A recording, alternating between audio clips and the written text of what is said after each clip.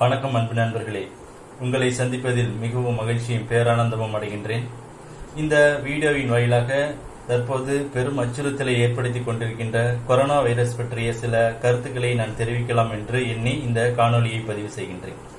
இந்த corona virus என்பது சீனாவில் இருந்து பரவியது என்பது நம் அனைவருக்கும் தெரிந்த ஒன்று. சீனாவில் தற்போது இயல்பு நிலைக்கு அந்த கொரோனா வைரஸ் அந்த நாட்டின் கட்டுக்குள் வந்துவிட்டது என்பது நாம் எல்லோரும் அறிந்த ஒரு செய்தியாக தான் செய்தித்தாள் வாயிலாகவும் தொலைக்காட்சி வாயிலாகவும் நாம் கேட்டு அறிந்து கொண்டிருக்கின்றோம். இந்த சைனா எப்படி எவ்வாறு இந்த கொரோனா வைரஸிலிருந்து தப்பித்தது?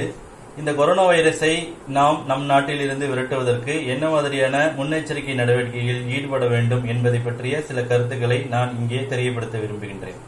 இந்த கொரோனா வைரஸ் என்பது விலங்குகளிடமிருந்து பரவியது என்பது நமக்கு தெரியும். விலங்குகளின் அதிக இறைச்சியை உண்பவர்கள் சைனா என்பதனால் அவர்களுக்கு அந்த நோய் முதலில் தொற்றிக்கொண்டது இது அந்த நாட்டில் படிப்படியாக குறைவதற்கான காரணம் என்னவென்று நீங்கள் பார்த்திருந்தால் அந்த அரசு சொன்ன உத்தரவையும் மருத்துவர்கள் சொன்ன சஜஷனையும் அந்த ஊர் மக்கள் கேட்டதனால் தனது கட்டுக்குள் கொரோனாவை கொண்டு வந்து விட்டார்கள். ஆனால் இத்தாலிக்கு எப்படி இவ்வாறு மிகப்பெரிய ஒரு அச்சுறுத்தலையும் மிகப்பெரிய நோயின் தாக்கத்தையும் ஏற்படுத்தியது என்று நாம் பார்க்க போகும்போது இது நம் நாட்டைப் போலே கொரோனா வைரஸ் பரவும் என்பதற்காக அந்த நாட்டில் உள்ள மக்களுக்காக விடுமுறை அளித்திருக்கின்றார்கள். அந்த விடுமுறையை அவர்கள் தவறாக பயன்படுத்திக் கொண்டு ஏதோ ஹாலிடே விட்டது போல பார்ட்டிக்கு செல்வது சுற்றுலா தலங்களுக்கு செல்வது இது போன்ற பல கேளிக்கை நிகழ்ச்சியில் அவங்க கலந்து கொண்டதனால் அந்த கொரோனாவின் தாக்கம் அதிகரித்து அந்த ஊர் மக்களுக்கு அதிகமான இழப்பையும் சோகத்தையும் ஏற்படுத்திட்டு இருக்குது. அதே போல நம் நாட்டிற்கும் வராமல் நாம் பார்த்து கொள்ள வேண்டும் என்றால் மத்திய அரசும் மாநில அரசும் நமக்கு கொரோனாவிற்காக என்னென்ன விழிப்புணர்வுகளையும் பாதுகாப்பு நடவடிக்கைகளையும்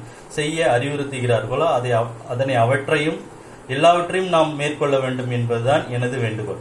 கொரோனாவிற்காக நாம் என்ன செய்ய வேண்டும் என்று பார்த்தோமானால் மத்திய அரசும் மாநில அரசும் நமக்கு விடுத்த கட்டளையின்படி இந்த நூத்தி நாற்பத்தி நான்கு என்ற தடை உத்தரவின் பேரிலே அனைவரும் வீட்டிலேயே இருந்து சுகாதாரம் சுகாதாரமான முறையில் பேணி காத்தோம் என்றால் நம் உடலும் எந்த ஒரு தொற்றும் ஏற்படாமல் நமக்கு ஒரு பாதுகாப்பான ஒரு சூழ்நிலை உருவாகும். இந்த கொரோனா தொற்று என்பது மனித உடலில் புகுந்து கொண்டு பதினான்கு நாட்களுக்கு அது அச்சுறுத்தலை ஏற்படுத்தும். இந்த பதினான்கு நாட்கள் நாம் படாத பாடுபட வேண்டிய ஒரு சூழ்நிலைக்கு உள்ளாகும். இப்பொழுது நாம் இறப்பதற்கு யாரும் அஞ்சவில்லை. அதனால் கொரோனா நமக்கு வந்தாலும் கவலை இல்லை என்று கூட நீங்கள் நினைக்கலாம். ஆனால் கொரோனா என்பது சாதாரணமாக நம் உயிரை எடுத்து விடாது. முதலில் அந்த நோய் தாக்கம் ஏற்படும் போது தொண்டையிலே வலி புண்கள் போன்ற ஒரு உணர்வு ஏற்படும். பின் தொடர்ந்து அந்த தொற்று அதிகரித்து கொண்டே சென்ற சென்றது என்றால் அது நுரையீரலுக்கு சென்று மூச்சு திணறலை ஏற்படுத்தும். அந்த மூச்சு திணறல் எப்ப- என்பது நமக்கு ஒரு மிக ஒரு அசாதாரணமான ஒரு சூழ்நிலையை ஏற்படுத்தி நம் மூச்சு விடுவதற்கு சிரமத்தை உள்ளாக்கும். அந்த சிரமத்திலிருந்து நாம் விடுபட வேண்டுமென்றால் இந்த தொற்றை நமக்கு வராமல் பார்த்து கொள்ள வேண்டும். எவ்வாறு நாம் பார்த்து கொள்வது? வெளியில் செல்லாமல் இருந்தாலே போதும். நமக்கு தொற்று என்பது வருவதற்கான வாய்ப்பு இல்லை. கைகளை கழுவுவது முகத்தை கழுவுவது இது போன்ற செயலில் ஈடுபடும் அனை அனைவருக்கும் இந்த தொற்று வராது என்பது நமக்கு தெரியும். அதே போல மூன்று மீட்டர் இடைவெளி விட்டு பொது இடங்களுக்கு செல்லும் போது நம்மளை பாதுகாத்துக் கொள்ள வேண்டும். இவை அனைத்துமே கொரோனாவுக்காக ஒரு முன்னெச்சரிக்கை நடவடிக்கை. நான் இன்னொன்று இந்த காணொலியிலே பதிவு செய்ய விரும்புகின்றேன்.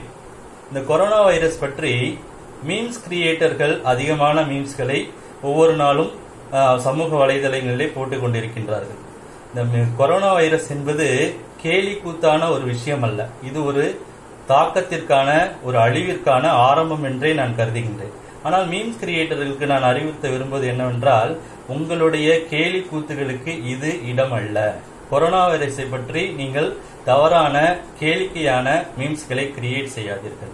முடிந்தால் கொரோனா பற்றிய விழிப்புணர்வு முன்னெச்சரிக்கையான மீம்ஸ்களை தயார் செய்யுங்கள். அதை விடுத்துவிட்டு இதுபோல கேளிக்கைக்கான மீம்ஸ்களை தயார் செய்யாதீர்கள்.